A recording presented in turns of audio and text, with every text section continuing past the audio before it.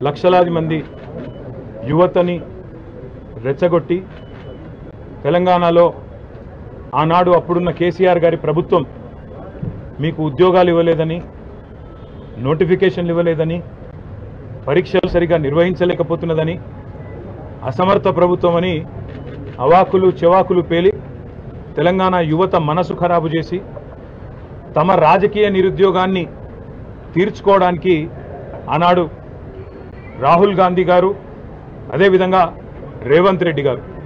ఈ ఇద్దరు రాజకీయ నిరుద్యోగులు కూడా తెలంగాణలోని యువతని తెలంగాణలోని నిరుద్యోగుల్ని రెచ్చగొట్టి ఆనాడు ఎన్నో రకాల ఆశల వాతావరణాన్ని కల్పించే ప్రయత్నం చేసినారు.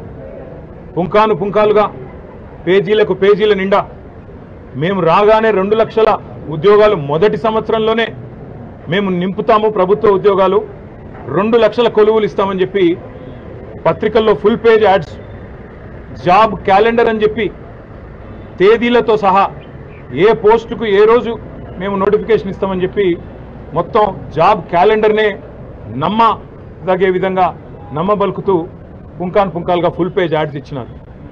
ఈరోజు మొదటి సంవత్సరంలో రెండు లక్షల ఉద్యోగాలు ఇస్తామని చెప్పిన కాంగ్రెస్ పార్టీ తమ ఉద్యోగాలు అయితే తెచ్చుకున్నారు ఇద్దరు రాజకీయ నిరుద్యోగులు.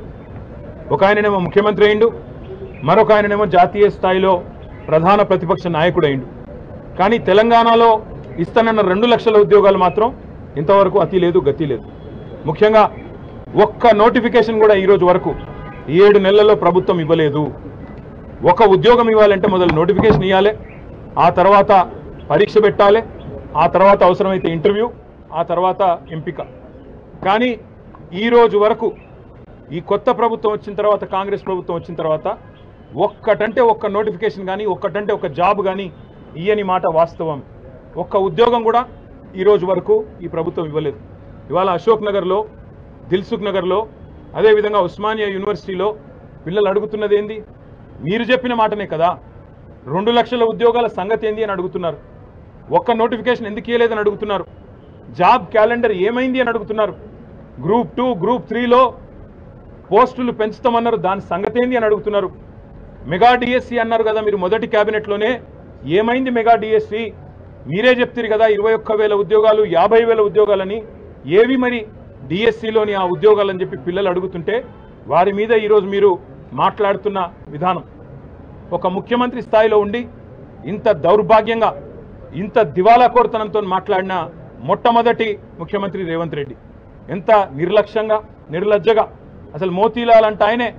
ఉద్యోగాలే రాస్తలేడు. ఆయన కూడా నిరాహార దీక్ష చేస్తున్నాడని చెప్పి ఇవాళ మోతీలాల్ అనే తమ్ముణ్ణి అవమానించే విధంగా గ్రూప్స్కు ప్రిపేర్ అవుతున్న తమ్ముణ్ణి అవమానించే విధంగా మాట్లాడడం. ఎవరినైతే ఏ కోచింగ్ సెంటర్లను ఆలంబనగా చేసుకొని అశోక్ నగర్కి నువ్వు మీ రాహుల్ గాంధీ పోయి రెండు ఉద్యోగాలు సంపాదించుకున్నారో ఇవాళ అక్కడ కోచింగ్ సెంటర్లు నడుపుతున్న యువతని అశోక్ కావచ్చు రియాజ్ కావచ్చు మరొకరు కావచ్చు ఆ కోచింగ్ సెంటర్ల నిర్వాహకులందరినీ అవమానించే విధంగా నూట యాభై కోట్లు వందల కోట్లు సంపాదించడానికి పరీక్షల పోస్ట్ పోన్మెంట్ అడుగుతున్నారు. వాళ్ళ కోసం వాళ్ళ స్వలాభం కోసం పాకులాడుతున్నారని చెప్పి వాళ్ళను అవమానించే విధంగా మాట్లాడడం. అందుకే ఇవాళ తెలంగాణ యువత బగ్గుమంటున్నది. ఎన్నో ఆశలతో కాంగ్రెస్ ప్రభుత్వం రెండు లక్షల ఉద్యోగాలు మొదటి సంవత్సరంలో ఇస్తుందని చెప్పి ఏ యువతనైతే మమ్మల్ని దించి మిమ్మల్ని గద్దెనెక్కిచ్చిందో ఈరోజు అదే యువత నిన్ను ప్రశ్నిస్తున్నది. రేవంత్ రెడ్డికి అందుకే చెప్తా ఉన్నాం. ఏడు నెలలు అయిపోయింది. ఎనిమిదో నెలలో నీ ప్రభుత్వం అడుగుపెట్టింది. ఈ ఎనిమిది నెలల్లో ఒక్క నోటిఫికేషన్ ఇవ్వలేదు మరి మిగతా నాలుగు నెలల్లో ఎట్లా ఇస్తావు రెండు లక్షల ఉద్యోగాలకు నోటిఫికేషన్లు? ఎట్లా ఇస్తావు రెండు లక్షల ఉద్యోగాలు? జవాబు చెప్పాలని చెప్పి నేను రేవంత్ రెడ్డి గారిని డిమాండ్ చేస్తా ఉన్నా. మిమ్మల్ని వదిలిపెట్టాం. శాసనసభలో నిలదీస్తాం. క్షేత్రంలో నిలదీస్తాం. ఏ పిల్లలనైతే నువ్వు మోసం చేసినావో ఆ పిల్లలకు మేము అండగా ఉంటాం. తప్పకుండా ఆ పిల్లలతో ఐక్యంగా కొట్లాడతాం. ఇది ఏదో రెండు రాజకీయ ఉద్యోగాలకు సంబంధించిన పంచాయతీ కాదు.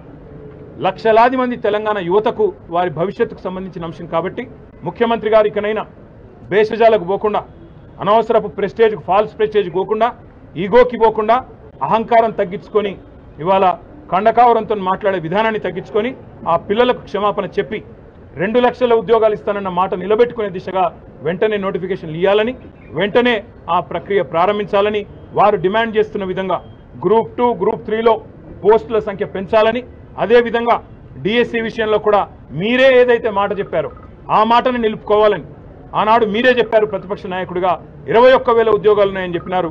అవి కూడా వెంటనే నోటిఫై చేయాలని అదేవిధంగా గ్రూప్ వన్లో కూడా వన్ ఈస్ టు హండ్రెడ్ నిష్పత్తిలో పిలవాలని మేం పెట్టిన డిమాండ్ కాదు.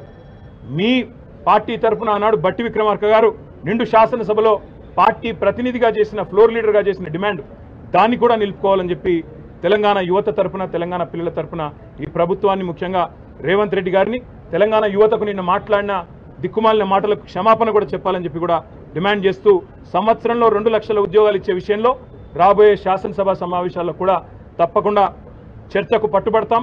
ప్రభుత్వాన్ని శ్వేతపత్రం ప్రచురించమని డిమాండ్ చేస్తాం. అదేవిధంగా ఒకవేళ వారు కనుక ఒప్పుకోకపోతే తప్పకుండా వాయిదా తీర్మానం ఇచ్చైనా సరే సభను స్తంభింపజేయడానికి కూడా వెనుకాడమని చెప్పి కూడా హెచ్చరిస్తా ఉన్నాం. కొన్ని రాజకీయ శక్తులు ప్రేరేపిస్తున్నాయి వెనకబడి నిరుద్యోగుల్ని రెచ్చగొట్టు- ఆ రాజకీయ శక్తుల పేర్లు రాహుల్ గాంధీ రేవంత్ రెడ్డి. అక్టోబర్ నవంబర్లో ఇప్పుడు రేవంత్ రెడ్డి మాట్లాడుతున్నాడు. బక్కా జడ్సన్ గారు దీక్ష చేస్తే ఏ ఉద్యోగ కోసం ఆయన దీక్ష చేస్తున్నాడు అన్నాడు. మరి గాంధీ భవన్లో రెండు వేల ఇరవై మూడో సంవత్సరంలో రేవంత్ రెడ్డి గారు కూడా దీక్ష చేసిండు. ఏ ఉద్యోగం కోసం దీక్ష చేసిండు? ఏ పత్రి ఏ పరీక్ష రాస్తున్నాడు రేవంత్ రెడ్డి అని చెప్పి దీక్ష చేసిండు? ఏ పరీక్ష రాస్తున్నాడు అని చెప్పి మరి ఈరోజు రాహుల్ గాంధీ అశోక్ నగర్కి వచ్చిండు? ఇవాళ అశోక్ నగర్లో ఉండే సన్నాసులని మాట్లాడుతున్నాడు. మరి మీ రాహుల్ గాంధీ గారు అశోక్ నగర్కి వచ్చినారు? మీ నువ్వు వచ్చినావు అశోక్ నగర్కి? మీ నాయకులందరూ ఆ కోచింగ్ సెంటర్లో చుట్టే తిరిగినారు మధు యాష్కి గారు ఇతరులు. ఎవరు సన్నాసులు? ఎవరి గురించి మాట్లాడుతున్నావో? ఆలోచించుకొని మాట్లాడితే బాగుంటుంది. ఇది ఇప్పుడు నాలుగున్నర ఏళ్ళు ఏ ఎన్నిక్షన్ కూడా లేవు. ఈ నాలుగున్నర ఏళ్ళు ఎలక్షన్లు లేనప్పుడు మాకేమి రాజకీయ ప్రేరితమైన ఉద్యమాలు కానీ వాళ్ళని రెచ్చగొట్టాల్సిన అవసరం కానీ లేదు. మీరిచ్చిన మాట మీరు నిలుపుకుంటలేరు కాబట్టే ఇవాళ పిల్లలు రోడ్డు ఎక్కుతున్నారు. అర్ధరాత్రి నిన్న నాలుగిటి దాకా పిల్లలు అశోక్ నగర్లో దిల్సుఖ్ నగర్లో ఆందోళన చేసిన మాట వాస్తవం కాదా? ఉస్మానియాలో వాళ్ళని వాళ్ళ గొడ్లను ఇడ్చుకపోతున్నట్టు ఈడ్చుకపోతూ ఇవాళ అరెస్టులు చేస్తున్న మాట వాస్తవం కాదా? ఆరు నెలల లోపలనే ప్రజాపాలన అంటే ఎమర్జెన్సీని తలపించే విధంగా ఇవాళ పిల్లలు బాధపడుతున్న మాట వాస్తవం కాదా? వాటికి సమాధానం చెప్పే సత్తా లేక ఇవాళ నోటికొచ్చినట్టు వాగడం కాదు ముఖ్యమంత్రి గారు.